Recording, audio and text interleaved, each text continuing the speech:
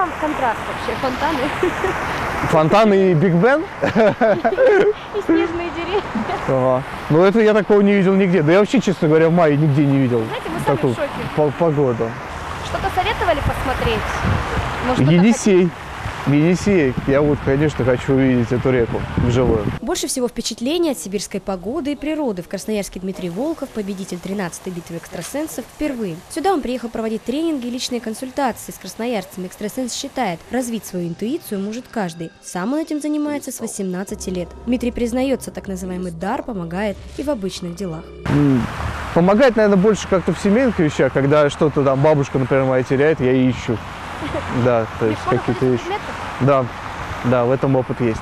Опыт этот, делится экстрасенс, всегда разный. Иногда способности экстрасенса просят применить и в коммерческих целях. В Тульской области, да, вот было это года три назад, а, пыта- пытался найти клад. То есть позвонил человек, сказал, что есть карта, давай попробуем. Причем это конкретно золото, золото немцев. Как оно там оказалось, я что-то так до сих пор не понимаю, но а, клад не нашли, но нашли очень много антиквариата военного, действительно. Ну, сдали это все и что-то даже заработали. А есть в практике такие случаи, о которых вспоминать тяжело. Например, очень часто связываются работники, оперативные работники, вот, и с поиском помочь. Но, к сожалению, живых я пока не находил, только, да, другие вещи. Напоследок экстрасенс поделился с красноярцами прогнозами на 2017 год.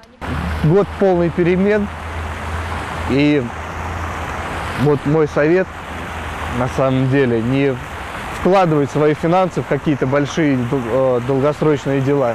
В этом году деньги должны быть при себе. В принципе, что самое главное? Это любить и беречь свой город. А вот то место, где ты родился, где ты живешь. И быть здоровым, сильным и счастливым. Вот что хочу пожелать. В Красноярске Дмитрий Волхов проведет еще четыре дня. Алена Крашенинникова, Александр Тропин. Новости ТВК.